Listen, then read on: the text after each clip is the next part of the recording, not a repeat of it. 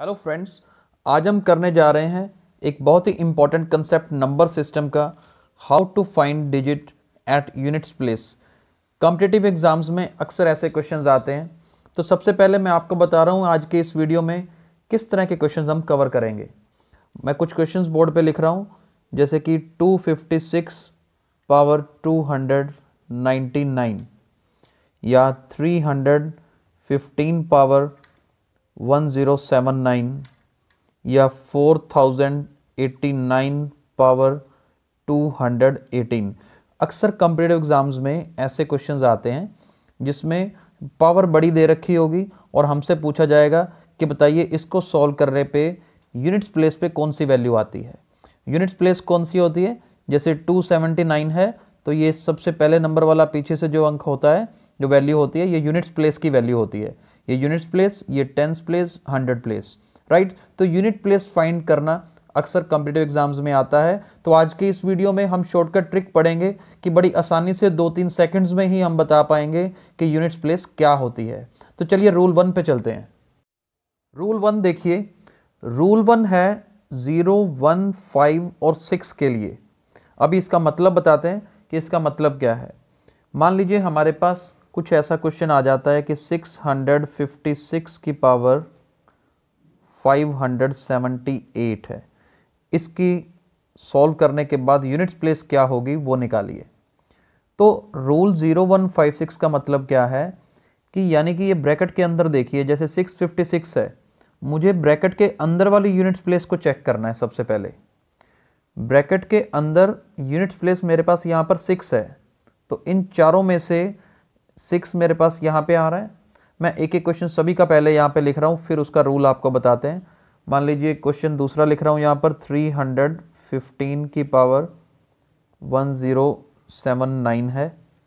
और एक क्वेश्चन हम लेते हैं, मान लीजिए वन ज़ीरो टू वन और इसकी power two zero seven three और एक क्वेश्चन ले लेते हैं टू हंड्रेड ट्वेंटी की पावर वन हंड्रेड टेन देखिए, चारों केसेस कवर कर रहे हैं। यूनिट्स प्लेस सिक्स है।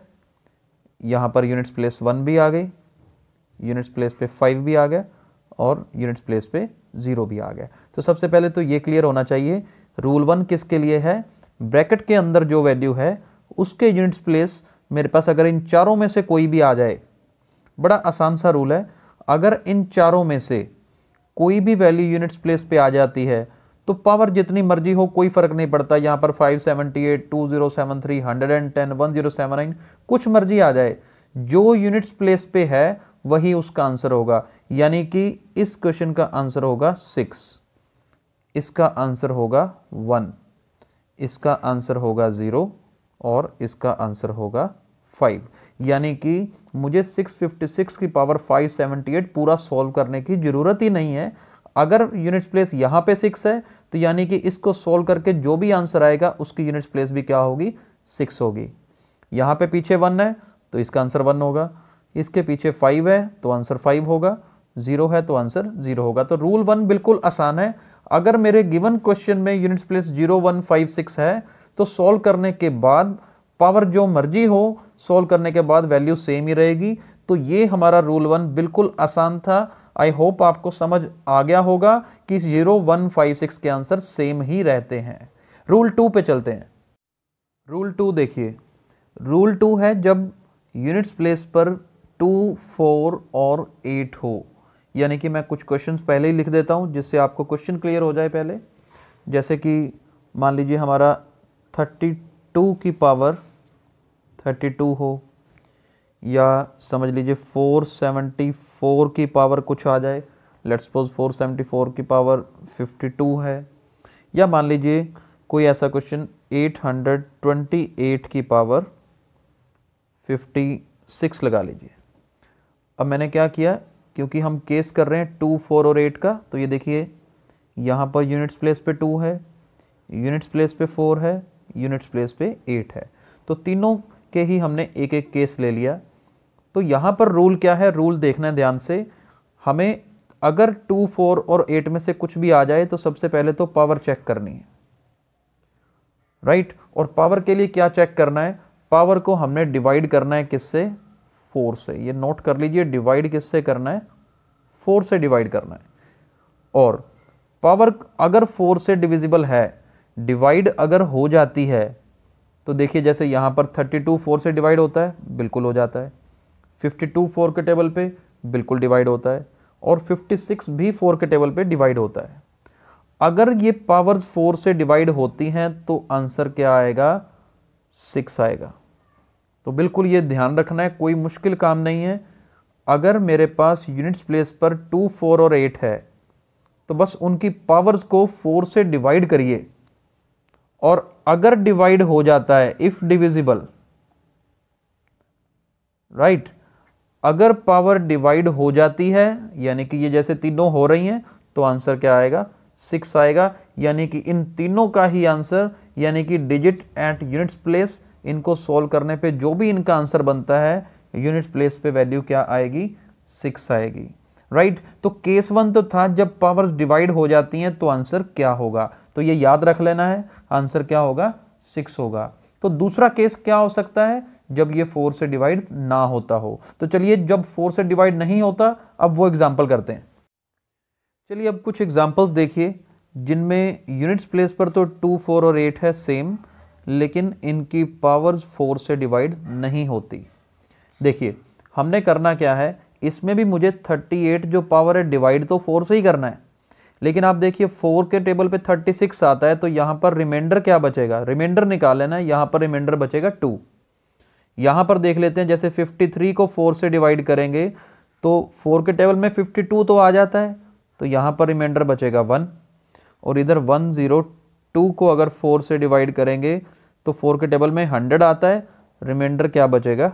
टू हमें सबसे पहला केस क्या करना है? सबसे पहला स्टेप क्या करना है?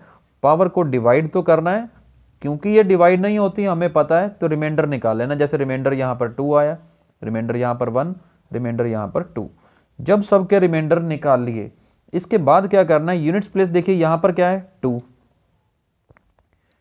यूनिट्स प्लेस लिखो, जो वैल्यू वहाँ पर है, और जो रिमाइंडर आया है, उसको इसकी पावर बना दो. यहाँ पर यूनिट्स प्लेस क्या है? फोर और रिमाइंडर क्या आया? वन तो वो इसकी पावर बना देते हैं. और इधर वन ज़ीरो टू को फोर से डिवाइड करके रिमाइंडर टू आया था, लेकिन यूनिट्स प्लेस पर एट है एट की पावर ये रिमाइंडर कर देना है। ये अगला स्टेप समझ आया होगा।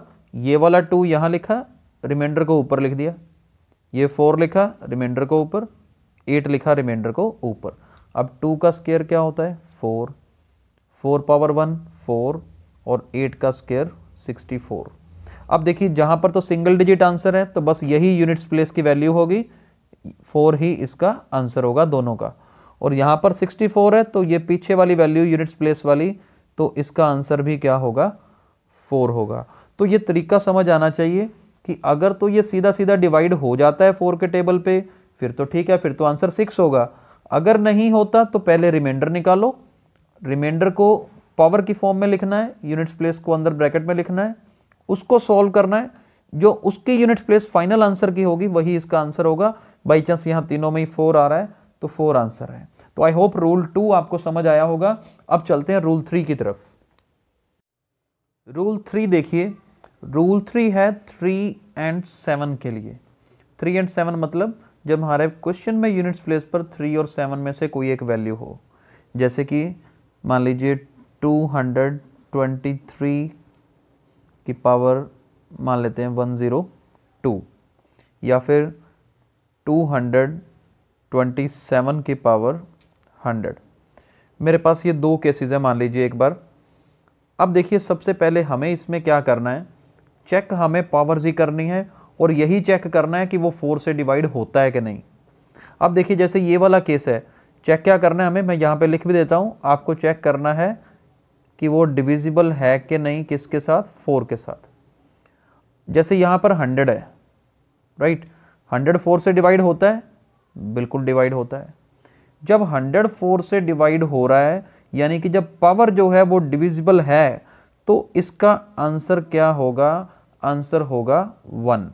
जैसे पिछले में जब हमने टू, फोर और एट के लिए किया था तो उसमें सिक्स फिक्स आंसर था डिविजिबल होने पर। तो यहाँ पर अगर डिवाइड होता है तो आंसर फिक्स क्या है? वन है। मान लीजिए हमारे पास ये क्वेश्चन आ जाए 43 की पावर 52 राइट? अब 52 फोर से डिवाइड होता है ना, बिल्कुल डिवाइड होता है। तो इसका आंसर फिक्स है, क्या होगा? यूनिट्स प्लेस पर वन होगा। उधर था सिक्स और यहाँ पर क्या है? वन चेक हमें पावर्स करनी है और डिपेंड करता है यूनिट्स प्लेस पर वैल्यू क्या है? जैसे यहाँ पर सेवन और थ्री अगर यूनिट्स प्लेस पे है तो मतलब आंसर वन होगा। यूनिट्स प्लेस पर टू फोर या एट होता तो आंसर क्या होता? सिक्स होता। अब देखिए यहाँ पर। अब इधर पावर मैंने ली वन ज़ीरो टू अब वन ज़ीरो टू तो फोर से डिवाइड नहीं होता। वन ज़ीरो टू डिवाइड नहीं होता। जब मैं वन ज़ीरो टू को फोर से डिवाइड करूँगा तो मेरे पास रिमाइंडर क्या बचेगा? रिमाइंडर बचेगा टू। जैसे पिछले में किया था हमने, रिमाइंडर टू निकाल लिया तो ये पीछे वाली वैल्यू थ्री देख लीजिए, और बस थ्री की पावर ये रिमाइंडर कर देना है, यानी कि नाइन। तो यूनिट्स प्लेस पर क्या आएगा? नाइन आएगा। राइट तो चलिए एक एग्ज़ाम्पल और करते हैं इसी तरह के।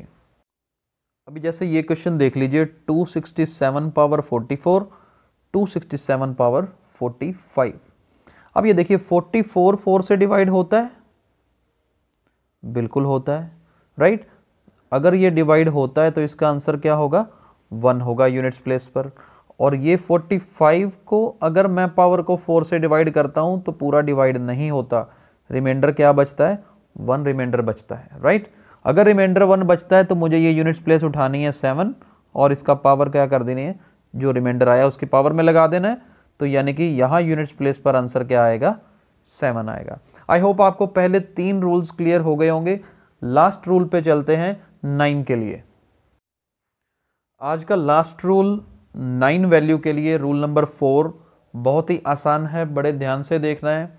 मान लीजिए मेरे पास है ट्वेंटी नाइन पावर थर्टीन देखिए यूनिट्स प्लेस पर क्या आ रहा है? नाइन आ रहा है।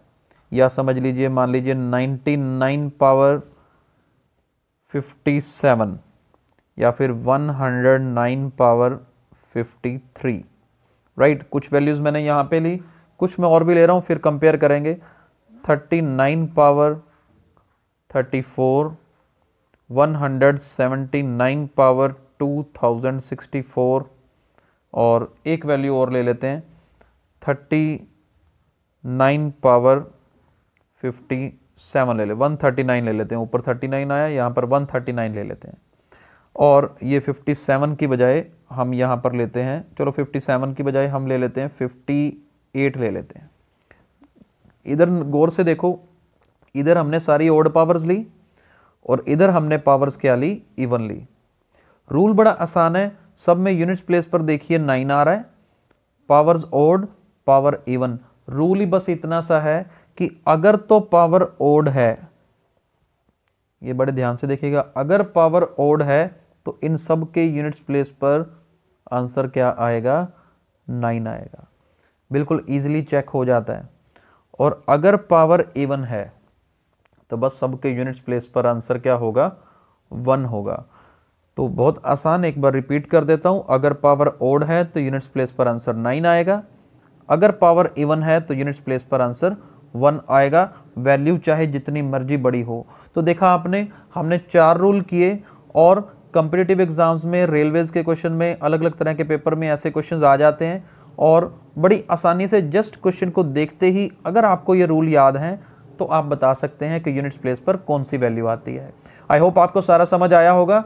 हमारे वीडियोज़ को लाइक और शेयर ज़रूर करते रहें। Thank you so much.